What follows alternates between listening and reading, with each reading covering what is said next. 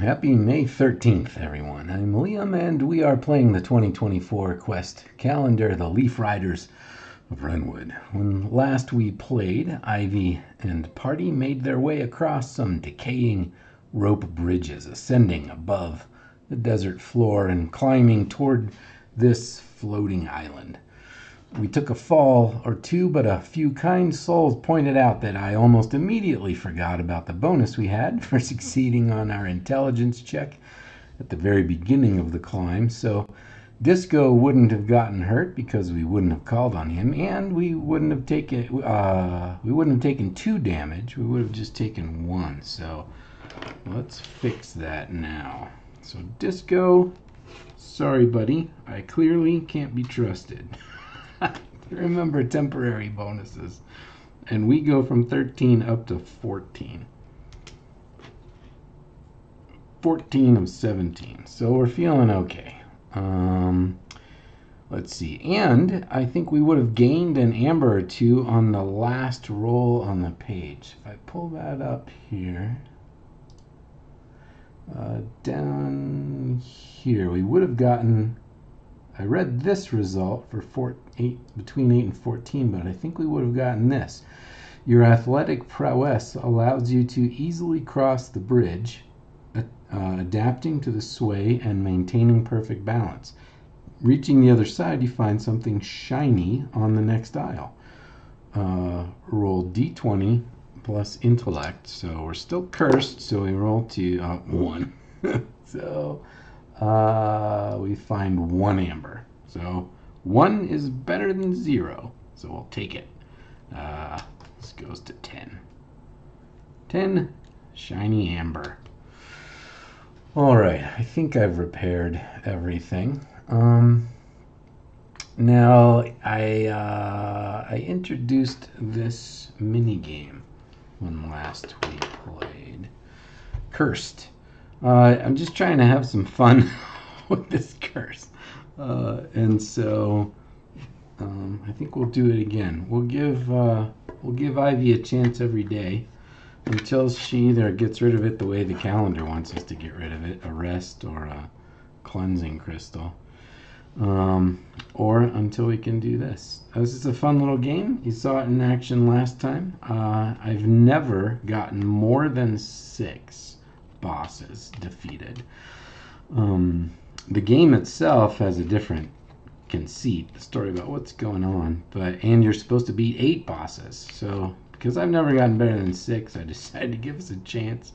We have to beat seven. I guess the idea here is that you know Ivy's having this dream, or um, internally, her subconscious is fighting this curse, and uh, it's manifesting like this when she's dreaming or having a vision or something.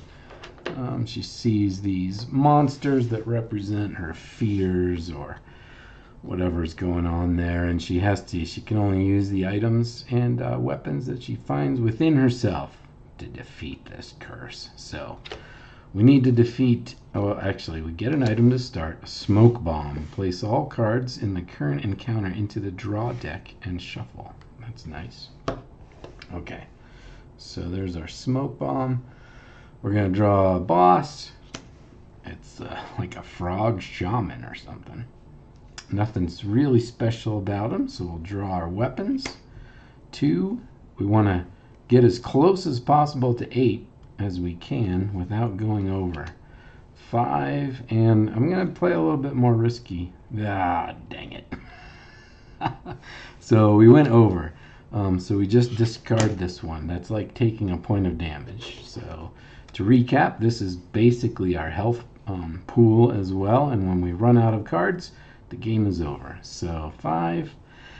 I gotta try another one. Oh my gosh, yeah, this is what happens when every time I try to push my luck, it just backfires miserably. So, five, three. Okay, one more time. Oh, good. Okay. All right, six, seven, eight. So we defeated that boss. So we collect him. I'm to turn him like this. Place all cards in the current encounter into the draw deck. Have to remember to use that. All right, we're fighting this skeleton with a spear. Staff does four damage. Oh, daggers. Dang it. So we don't want to take the six because that would go over. So we're at five. We'll draw one. Oh, jeez. I went over again. So we lose. Oh, you know what? We can use those things at any time, any point. So I'm going to do that. I'm going to use the smoke bomb. We're going to place all the cards in the current encounter into the draw deck and shuffle. So I'm just going to put these in here willy-nilly. We used our smoke bomb and we're going to shuffle. Uh, okay, here we go. Who are we facing? Crocodile guy. He's got a chest, so if and when we beat him, we get to uh, pick an item. Three, we do three damage to him. We do two more, that's five. Ten, let's stop there. So we take one point of damage, we collect that boss, and we get an item, Scroll of Purge Life. Instantly capture a monster's soul when used. Ignores monster traits. That is super powerful. Okay. I'm gonna turn these like this too. Who are we fighting? Wow. Um, I think I'm gonna save this for somebody who has a trait. I think that's my plan. So, yeah. We'll take a six on those daggers. Nine. Let's do that. We'll take. Uh, we'll take him. Take two points of damage, and we get another item. This deck feels so low already. we get another item. What's the item? Big turkey dinner. Shuffle discard pile. Take three cards. Place them at the bottom of your draw pile. We're gonna do that right away. So we shuffle. Shuffle the discard pile. And uh, take three cards. One, two, three. And place them at the bottom of this pile. And then we use that. Okay, next boss. Crocodile with a chest. Two damage. Another two, that's four. Uh, so let's take a six on the dagger. So we take one point of damage and we get another item and we get the crocodile. This is this is about as best as I've ever done. Smoke bomb. These are great items this time too. Okay. All right. There's not a lot of cards left. Six, seven cards. We need three bosses. Eight. Um. I think we're just gonna fight them. Two. Seven. Let's take that. Take one point of damage. I collect him. One, two, three. It's only five bosses so far. I felt like we were doing so well. uh, okay, who do we get? 11. I think we got to use this scroll and just take him right away. Or should we use the smoke bomb? No. Let's use the scroll. We take that guy. We get an item. That leaves us only with two cards.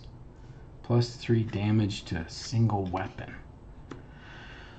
Ah, what can we do? Place all cards in the current encounter into the draw deck and shuffle. That um, nine. Well, I know I know this isn't. We aren't gonna win against this guy because we can't. This is this whetstone will give us plus three damage, but we would need to actually pull a six, and I don't think there's any weapons in here that do six damage. So let's use the smoke bomb. Place all cards in the current encounter into the draw deck. Shuffle. We'll draw this guy. Seven. Okay, if this weapon is a four, we win. And it's not. we do six points of damage. We don't take him, and we take it. We uh, we die. So that's it. So Ivy remains cursed. Oh, this game is tough. All right.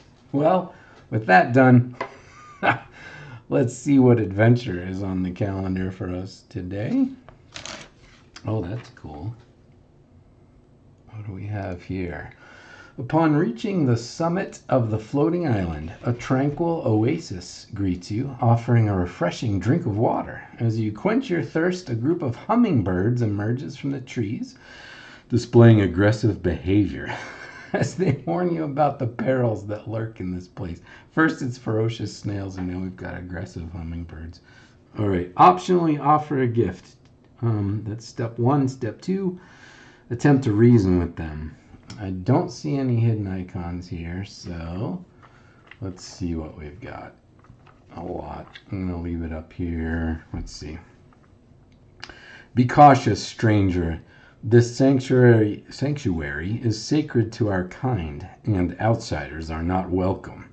You must leave this place at once, for danger awaits those who linger here, warns the lead hummingbird with an assertive chirp. I don't I don't think I'm doing a very uh, chirpy voice here. Um, the others behind the leader are readying their weapons. Oh yeah, he's carrying a spear in his little feet. Oh my gosh, this game. Okay, one optional. Offer a gift. Costs three amber. Let's do it. What does it do? Um, this option is only available if you have three amber. Uh, remove three amber from your inventory. You present a small token of goodwill to the hummingbirds and pull out three shiny amber as a gesture of friendship. Gain a plus three bonus to attempt to reason with them. Number two below. Okay, so we're going to spend three amber. So we need all the help we can get with this curse. There's seven down to seven amber, and I have a trick. I'm going to use these to try to help remember that I have a plus three bonus. Okay. In fact, yeah, no, I'm going to put them right there. So I, uh, it's I'm still going to forget. Number uh, step two: attempt to reason with them. Roll d20 plus charisma, reminder, persuasive. One, excellent. okay. Uh, none. I don't think. I think that's an automatic fail what would it be if let's see charisma one plus one charisma plus three is four we're not persuasive yeah it, even if okay anyway if the result is eight or less the hummingbird's hostility grows as they misinterpret your words you speak in riddles and deceit leave now or face our wrath they command making it clear that any further attempt to communicate may result in violence you can attempt to stand your ground and confront them uh, D20 plus strength remainder intimidating. Absolutely. Ivy is intimidating. So here we go. 11 plus 3 is 14. Plus intimidating is uh, 16. Plus, is it strength? Our strength is 2. That's 18. Boom. If the result is 14 or more, your show of strength commands respect among them, while also warning that you are not an easy creature to defeat, especially by hummingbirds. Uh, they let you pass with a warning. oh man. Okay, I think that's it. Yep, that's it for them. okay. All right. Well, there. That, my friends, is May thirteenth. So we shall say goodbye for now and visit Ivy and friends again tomorrow. I hope you'll join us. Thanks for watching.